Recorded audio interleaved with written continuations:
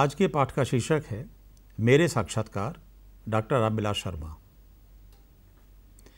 इस पाठ के अध्ययन के उपरांत आप ऋग्वेद में वर्णित श्रमिक संस्कृति से परिचित हो सकेंगे, हिंदी जाति और उसकी सांस्कृतिक चेतना को समझ सकेंगे, तथा आलोचकीय विवेक और विचारधारा के संबंध को जान सकेंगे।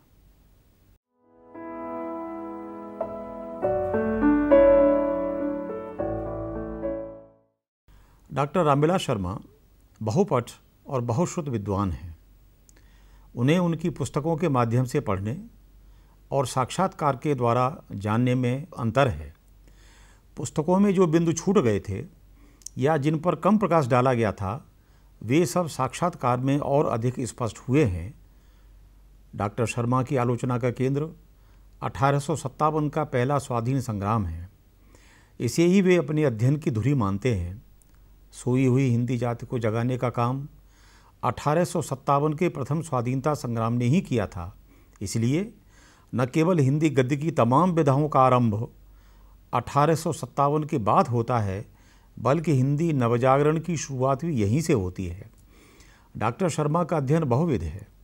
अपने अध्ययन के दौरान दुनिया के तमाम ज्ञात अज्ञात स्रोतों का उपयोग वे अपनी मान्यताओं की पुष्टि के लिए करते हैं। हिंदी जाति की, सांस्कृतिक चेतना को लेकर वे बहुत चिंतित रहते थे।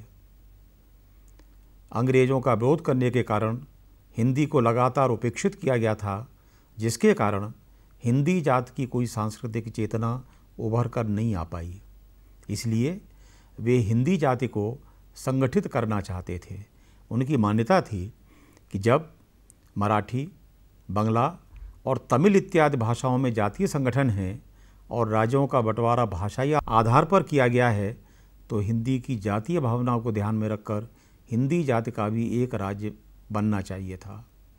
एक राज्य बनाने की अपेक्षा हिंदी भाषी क्षेत्र को अलग अलग राज्यों में बांटने के कारण हिंदी की जातीय चेतना भी विभाजित हुई। हिंदी जाति में सांस्कृतिक चेतना का जो अभाव है, उसका कारण भी यही है। रामविलास जी यह भी मानते हैं कि अठारह सौ सत्तावन की पराजय के बाद जिस प्रकार नवजागरण की शुरुआत हुई, उसके प्रोधा भारतीय हरिश्चंद्र और आचार्य महावीर प्रसाद द्विवेदी हैं। आचार्य द्विवेदी ने हिंदी जाति को वैज्ञानिक चेतना दी, जिसके आलोक में वह अपने को अतीत और वर्तमान का मूल्यांकन करने में समर्थ हुई। उस समय की पत्र पत्रिकाओं ने हिंदी जाति में जिस प्रकार राष्ट्रीय चेतना का प्रसार किया, उसके परिणाम स्वरूप एक ओर भाषा की अस्मिता के प्रति जागरूकता बढ़ी तो दूसरी ओर राजनीतिक चेतना का भी प्रसार हुआ। रामविलास जी, मार्क्सवादी आलोचक हैं। मार्क्स की अप्रतिम कृति पूंजी का अनुवाद करते समय उन्हें जो आधार सूत्र मिले, उनके आधार पर उन्होंने ऋग्वेद का अध्ययन किया और निष्कर्ष निकाला कि उसमें जो श्रमिक संस्कृति है, उसकी उपेक्षा की गई है। जिसका प्रसार आज के समय में बहुत ज़रूरी है। यह ऋग्वेद का धर्माधारित पाठ नहीं है, बल्कि सामाजिक चेतना का पाठ है, जिसकी अनिवार्यता असंदिग्ध है।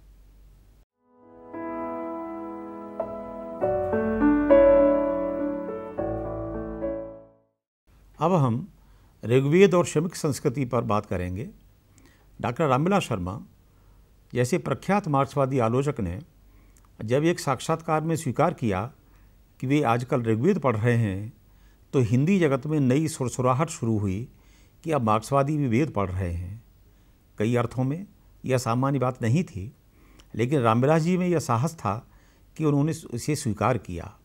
जब उनसे दूसरा प्रश्न किया गया कि आपको इसकी आवश्यकता क्या थी, तब उन्होंने उत्तर दिया, मैंने शुरुआत इस तरह की थी कि मार्क्स और एंगल्स के चिंतन की दार्शनिक पृष्ठभूमि की जानकारी प्राप्त की जाए। इस सिलसिले में उनके मूल दर्शन यूनानी दर्शन तक पहुँचा। उस दर्शन की बहुत सी धारणाएँ उपनिषदों में थीं उन्हें खोजते हुए ऋग्वेद तक पहुँचना अनिवार्य था मार्क्स और एंगल्स के चिंतन के अलावा, यदि हम दार्शनिक यथार्थवाद पर ध्यान केंद्रित करें तो ऋग्वेद, उपनिषद, प्राचीन यूनानी दर्शन, फिर सत्रहवीं सदी में बेकन और लॉक के विचार, अठारहवीं सदी में फ्रांस में भौतिकवाद का विकास, अगली कड़ी के रूप में मार्क्स और एंगल्स का भौतिकवाद दार्शनिक चिंतन के विकास की यह बहुत आकर्षक रूपरेखा बनती है। और यह सारा इतिहास केवल पुराने समय को समझने के लिए ही आवश्यक नहीं है, वरन वर्तमान विचारधारा के विकास के लिए भी उतना ही आवश्यक है। ऋग्वेद में प्रकृति पर विशेष बल दिया गया है। उसी के विभिन्न रूपों की प्रशंसा इस आशय के साथ की गई है कि उससे प्राप्त प्रकाश वायु और ऊर्जा के बल पर मनुष्य इस संसार में सौ वर्ष तक जिए। सौ वर्ष जीने की कामना के लिए किसी व्यापक सत्ता से प्रार्थना नहीं की गई। व्यापक सत्ता के लिए ब्रह्म शब्द का प्रयोग ऋग्वेद में नहीं मिलता यह बहुत बाद में जाकर देखा जा सकता है। ऋग्वेद कर्ममय जीवन पर बल देता है, इसलिए प्रकारांतर से वह श्रमिक संस्कृति की स्थापना करता है। वह मनुष्य के श्रम करते हुए तथा अपने कर्तव्यों का निर्वहन करते हुए सौ वर्ष तक जीने की कामना की गई है। जो संस्कृति श्रम की महत्ता को मानती हो, उसमें कोई स्पर्श हो ही नहीं सकता। इसलिए शूद्र शब्द का प्रयोग केवल एक बार उसकी उत्पत्ति के संबंध में किया गया है। शेष जगहों पर न तो शूद्र शब्द का प्रयोग किया गया है और न दासों का। ऋग्वेद के रचना समय से पूर्व बहुदेवोपासना पद्धति प्रचलित थी, तथा यज्ञ भी किए जाते थे, लेकिन ऋग्वेद के रचना काल में यह प्रवृत्ति क्षीण होती गई। ऐसे कई सूक्त हैं, जिनका यज्ञ से कोई संबंध नहीं है। ऋग्वेद बहुदेवोपासना की जगह अद्वैतवाद पर बल देता है। जहाँ एक देववाद तथा अद्वैतवाद होगा, वहाँ कर्मकांड स्वतः ही समाप्त हो जाएगा। बाद में कर्मकांड और पुरोहितवाद के बढ़ने के कारण वेदों को अपौरुषीय मानने की घोषणा की गई और कहा गया कि वेदों को मनुष्य ने नहीं, स्वयं ईश्वर ने रचा है। रामविलास जी, एक प्रश्न के उत्तर में इसका खंडन करते हुए कहते हैं, ऋग्वेद के कभी भी स्वयं को लौकिकता से परे नहीं मानते। वास्तव में ऋग्वेद का यह लोक उसका सबसे सबल पक्ष है। सौ वर्ष तक वे इसी संसार में जीना चाहते हैं। सौ वर्ष तक जीते हुए सूर्य के दर्शन करना चाहते हैं। वेद मनुष्यकृत नहीं है, ईश्वरकृत है, उनको थोड़े से आदमी ही समझ सकते हैं। इस प्रचार से पुरोहित वर्ग को लाभ होता था। पुरोहित वर्ग ने ही यह भ्रम फैलाकर ऋग्वेद की चेतना और उसकी प्रगतिशीलता को बाधित कर उसे धर्म ग्रंथ के रूप में प्रचारित किया। जब उनसे पूछा गया कि ऋग्वेद के ऋषियों और बौद्ध दार्शनिकों में क्या अंतर है तो उन्होंने उत्तर दिया, बौद्ध दर्शन में अनेक धाराएँ हैं। पर जिन धाराओं की प्रधानता है, वे सब भाववादी हैं। वे संसार को दुख का कारण मानती हैं, या संसार के अस्तित्व को ही अस्वीकार करती हैं, या भाववाद समाज में विशेष अधिकारों का समर्थन करता है। संपत्ति के विषम संबंधों को बनाए रखता है। ऋग्वेद में कहीं भी वैराग्य अथवा संन्यास की धारणा नहीं है। ये धारणाएँ अनेक मतों में वर्ग वैषम्य के प्रसार के साथ फैली हैं। संसार को छोड़ने और बैरागी का जीवन बिताने का लक्ष्य अनेक संप्रदायों को नेताओं ने अपनाया है। ऋग्वेद के कवियों का दृष्टिकोण यह लोकवादी है। वह जीवन की स्वीकृति का दृष्टिकोण है। इसलिए वह परवर्ती संसार में धारणाओं से कहीं अधिक प्रगतिशील है। डॉक्टर रामविलास शर्मा ने ऋग्वेद के संबंध में फैले विभिन्न वाद विवादों को शांत किया और उनका प्रामाणिक उत्तर भी दिया।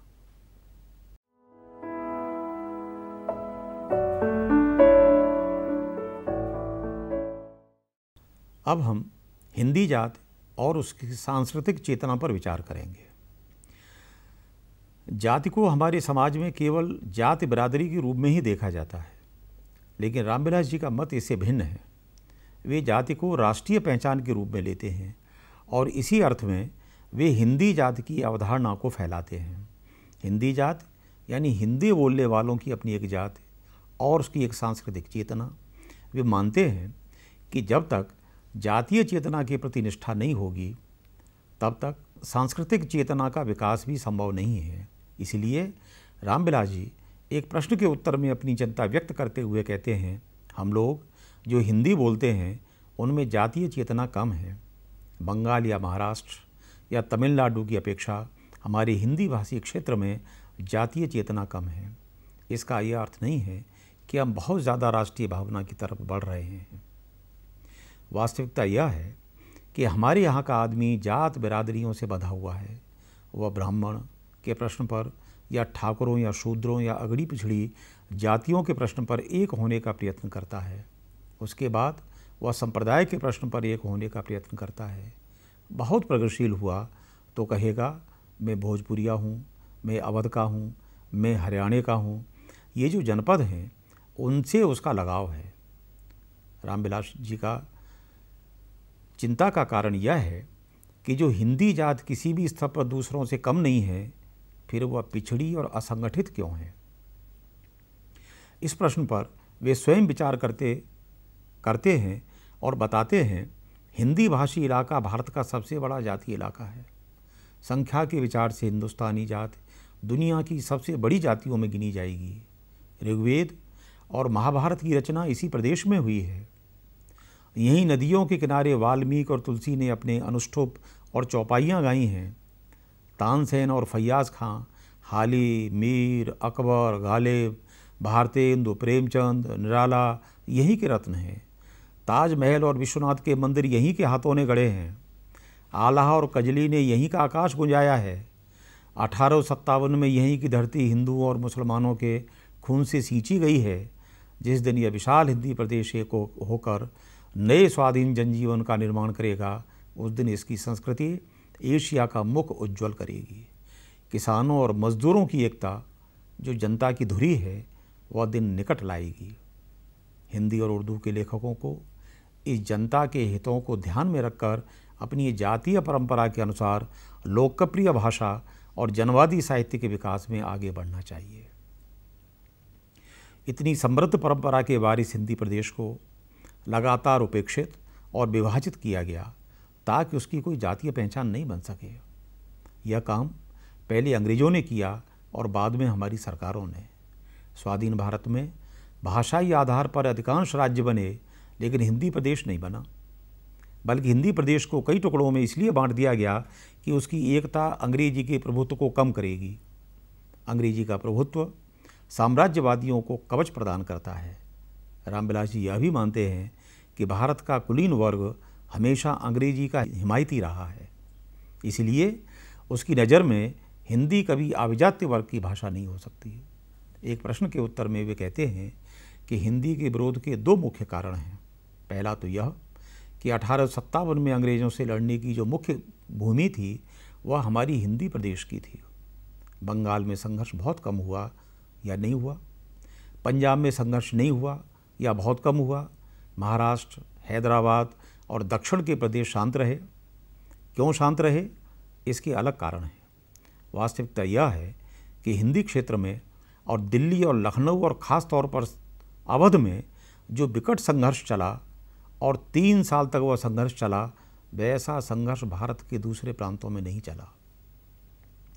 उसका परिणाम यह हुआ कि अंग्रेज़ों ने बहुत अच्छी तरह जान लिया कि हिंदी भाषी जाति जब तक विभाजित नहीं की जाएगी, तब तक हम यहाँ सुरक्षित नहीं रहेंगे।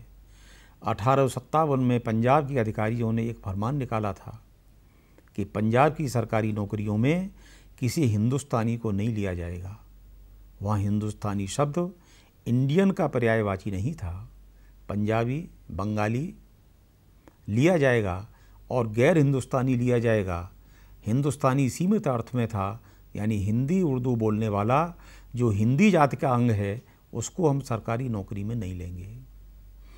तो एक बात तो यह कि जातीयता के प्रति अंग्रेज़ बहुत सतर्क थे।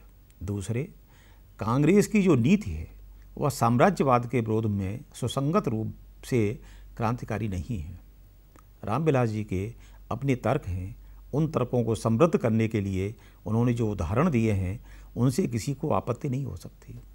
यह तर्क काल्पनिक न होकर ऐतिहासिक हैं, जिनकी सच्चाई असंदिग्ध है। वे अपने तर्कों के प्रति हमेशा सावधान रहते हैं, इसलिए उनसे असहमत होती हुई भी उन्हें नकार नहीं सकते। रामविलास जी की चिंता यह है कि कभी हिंदी उर्दू के नाम पर और कभी विभिन्न बोलियों के अस्तित्व के नाम पर हिंदी जात की एकता को खंडित किया जाता रहा है।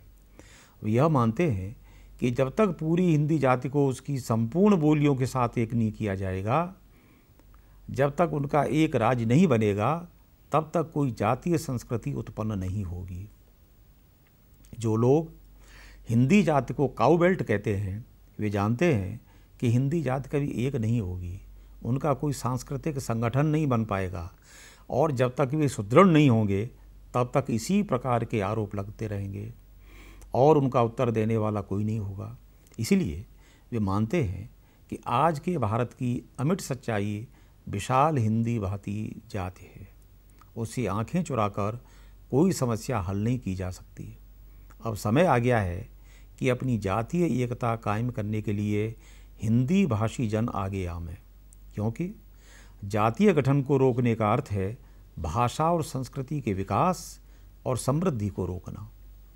जातीय गठन को रोकने का अर्थ है किसी जाति के अंदर विद्यमान राजसत्ता की जीवाणुओं को कुचलना। तमाम विरोधों और आरोपों के बावजूद डॉक्टर रामबिलास शर्मा अपनी जातीय अवधारणा पर अडिग रहे और आजीवन हिंदी जाति के लिए अलग और संगठित विशाल राज्य के सपने को साकार करने के प्रयत्न करते रहे। वे मूलतः अंग्रेज़ी के प्राध्यापक थे, लेकिन हिंदी को कमतर आंकने तथा उसके अस्तित्व को बचाए रखने के लिए वे लगातार हिंदी में लिखते रहे। उनके ग्रंथों को पढ़कर जाना जा सकता है कि बहुमुखी प्रतिभा के धनी तथा अथक परिश्रमी रामविलास जी ने हिंदी के उन्नयन के लिए कितना काम किया है। उन्हें यह विश्वास था कि भविष्य में हिंदी जाति उनकी भावनाओं को समझेगी और एक होकर अलग राज्य के लिए संघर्ष करेगी। इससे न केवल अंग्रेज़ी से मुक्ति मिलेगी, अपितु तो साम्राज्यवादी ताकतों का भी पतन होगा, जो हमारे देश में पहले ईस्ट इंडिया कंपनी के नाम पर और अब तमाम तरह की कंपनियों को लेकर बेरोक टोक आ रही हैं।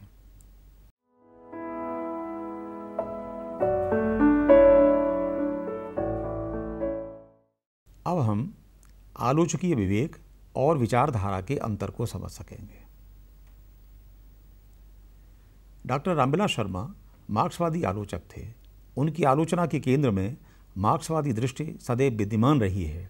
इसलिए वे अपनी खरी खरी बातें कहने में कभी किसी से डरे नहीं। न केवल गैर मार्क्सवादियों के, बल्कि अपने ही मार्क्सवादी लोगों के विचलन का उन्होंने पूरी ताकत के साथ विरोध किया। इसके परिणामस्वरूप कई बार वे अपने ही संगठन में अकेले पड़ गए। लेकिन वे मानते थे कि सवाल समूह या अकेले होने का नहीं है। यदि कहीं कुछ गलत है तो एक ईमानदार आलोचक को उसका विरोध करना चाहिए। एक प्रश्न के उत्तर में वे कहते हैं, ईमानदार आलोचक को केवल एक बात का ध्यान रखना चाहिए कि वह ईमानदारी को न छोड़े। अगर वह ईमानदार बना रहे तो बाकी सब चीज़ें दुरुस्त हो जाएँगी। क्योंकि आलोचक का सबसे बड़ा धर्म ईमानदारी है। वह अपने धर्म से विचलित हुआ। नहीं कि फिर संभालना मुश्किल हो जाएगा। उसके साथ ही उसकी विवेचना भी मर जाएगी। अपनी विवेचना शक्ति को बचाए रखने और उसे निरंतर धारदार बनाए रखने के लिए वे लगातार गलत बातों का विरोध करते रहे। यही कारण है कि अपने ही प्रगतिशील खेमे के यशपाल, राहुल संकृत्यायन, शिवदान सिंह चौहान, मुक्तिबोध और नामवर सिंह उनकी आलोचना का शिकार बने। अपने आलोचकीय विवेक के कारण उन्होंने कभी लोकप्रियता को स्वीकार नहीं किया, बल्कि एक ऋषि की तरह अकेले पढ़कर भी गंभीर विषयों पर अधिक परिश्रम करते रहे। उनके किए गए काम को देखकर आज सहसा यह विश्वास नहीं होता कि यह काम अकेले डॉक्टर रामविलास शर्मा ने किया है। विषय की जो विविधता उनके यहाँ है वह आज के समय में दुर्लभ है। आलोचकीय विवेक के सारे वे निरंतर शोधरत रहे। एक बार उनसे पूछा गया कि आप अपने को मूलतः आलोचक मानते हैं या रचनाकार?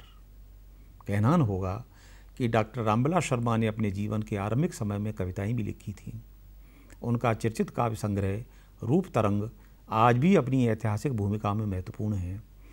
इस प्रश्न का उत्तर देते हुए वे विस्तार से बताते हैं कि इस प्रश्न में आलोचक और रचनाकार को अलग अलग रखा गया है। रचना कई तरह की होती है। एक रचना विवेक के माध्यम से होती है, उसी हम विवेचना कह सकते हैं। दूसरी रचना भावबोध के सहारे होती है, कल्पना के सहारे होती है, वह अधिकतर कला में दिखाई देती है। जो कलात्मक रचना है, वही रचना हो, ऐसा नहीं है। कलात्मक रचना में भी विवेक होता है, नहीं तो आदमी कहानी लिखता जाए, न सिर न पैर। वह कैसे जानता है कि कहानी अच्छी बनी कि बुरी बनी? इसलिए उसके अंदर कहीं विवेक छुपा हुआ है। इस प्रकार जो कलात्मक लेखक है, वह भी विवेक से काम लेता है। दूसरी तरफ़, जो आदमी विवेचना करता है, वह विवेचना से प्रभावित करना चाहता है, भाषा सुंदर रखना चाहता है, सारा लेख या पुस्तक ऐसे ढंग से पाठक के सामने रखना चाहता है कि सब कुछ आसानी से पाठक की समझ में आ जाए। आलोचना में भी कला होती है और कला में आलोचना होती है। इसलिए दोनों पूर्णतः अलग अलग नहीं हैं। रामविलास जी का यह मानना है कि आलोचक के पास विवेक शक्ति का होना बहुत आवश्यक है। इससे ही वह रचना के अंदर प्रवेश करता है और उन चीज़ों को रेखांकित करता है जो चीज़ें सीधे सीधे पाठक की समझ में नहीं आती। आलोचकीय विवेक के उदाहरण के लिए हम उनकी पहली पुस्तक प्रेमचंद को ले सकते हैं, जिसका प्रकाशन 1941 में हुआ था। तब तक प्रेमचंद को तत्कालीन समस्याओं पर लिखने वाला लेखक माना जाता था। रामविलास जी ने पुस्तक लिखकर यह बताया कि प्रेमचंद जिस समय साहित्य लिख रहे थे, हमारे यहाँ बहुत से लोग कहते थे कि प्रेमचंद को तात्कालिक समस्याओं पर साहित्य न लिखना चाहिए। इनका साहित्य टिकाऊ न होगा। ये किसानों पर लिखते हैं, किसानों के संघर्ष पर लिखते हैं। जब महाजन न रहेंगे, जमींदार न रहेंगे तो इनके साहित्य को कौन पूछेगा? लेकिन अब आप देखेंगे कि प्रेमचंद आज भी उतने ही लोकप्रिय हैं। इस किताब को पढ़कर लोग यह समझ सकेंगे कि प्रेमचंद साहित्य को कहाँ तक ले गए और उसके आगे बढ़ने से ही प्रगतिशील साहित्य रचा जाएगा। कहनान होगा कि रामविलास जी ने प्रेमचंद पर उस समय यह पुस्तक लिखी जब उनकी उम्र तीस वर्ष भी नहीं हुई थी। लेकिन अपने धारदार आलोचकीय विवेक से उन्होंने बड़े बड़े आचार्यों की स्थापनाओं को खंडित करते हुए कहा कि किसान, मजदूरों और सामंतों के बारे में प्रेमचंद की समझ तत्कालीन राजनीतिज्ञों से भी अधिक परिपक्व थी। इसके दो वर्ष बाद 1943 में उन्होंने अपने प्रिय विषय अठारह सौ सत्तावन और नवजागरण पर विचार करते हुए भारतेंदु पर पुस्तक लिखी। यह पुस्तक न केवल भारतेंदु के योगदान को रेखांकित करती है, अपितु 19वीं शताब्दी की हिंदी जाति की समस्याओं को यथार्थ में रेखांकित कर, उन्हें दूर करने के लिए भारतीय और उनके मंडल के साहित्यकारों के योगदान को निरूपित करती है। रामविलास जी पर यह आरोप लगाया जाता है कि वे कट्टर मार्क्सवादी आलोचक हैं। यह बात सही है कि वो मार्क्सवादी आलोचक हैं, लेकिन एक तो कट्टर नहीं है, दूसरे मार्क्सवादी साहित्यकारों की कमियों को गिनाते हुए उन साहित्यकारों पर अधिक लिखा जो मार्क्सवादी नहीं थे। भारतेंदु, आचार्य महाप्रसाद द्विवेदी, निराला वृंदावन लाल वर्मा तथा अमृतलाल नागर आदि मार्क्सवादी नहीं थे। लेकिन उनके समूचे वैशिष्ट को जिस प्रकार रामविलास जी ने रेखांकित किया है, उतना कोई दूसरा नहीं कर सका। ऐसे ही एक प्रश्न का उत्तर देते हुए उन्होंने कहा, मैंने बहुत लोगों पर लिखा है, वे सब मार्क्सवादी नहीं हैं। जैसे निराला जी पर लिखा वे मार्क्सवादी थोड़े ही थे। महावीर प्रसाद द्विवेदी पर लिखा वे मार्क्सवादी थोड़े ही थे। मार्क्सवाद एक दृष्टि है। एक समझने का तरीका है, और वह समझने का तरीका भी ऐसा नहीं है कि वह बिल्कुल नपा तुला हो और हर जगह उसी लीक पर चलो। उसमें काफ़ी लचीलापन है। जैसे, मार्क्सवाद का एक सिद्धांत है कि चीज़ें गतिशील होती हैं, स्थिर नहीं होती। तो अब कोई यह कह दे कि प्रेमचंद गतिशील थे, गोदान गतिशील है तो ये आलोचना नहीं हुई। उस सिद्धांत को लागू करना लेखक के विवेक और समझ के ऊपर निर्भर करता है। इसलिए वे यह भी मानते हैं कि विवेक का विकास होता है और मार्क्सवादी दृष्टि उस विकास में सहायक होती है।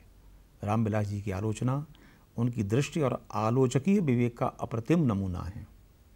वे जिस तरह कृति में बैठते हैं, उससे लगातार पढ़ने और जानने की प्यास बनी रहती है।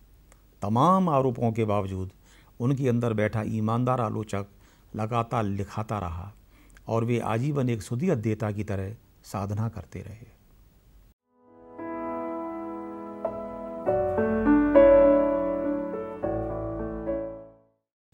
निष्कर्षतः हम कह सकते हैं कि डॉक्टर रामविलास शर्मा अपने साक्षात्कारों में खुलकर अपना पक्ष रखते हैं।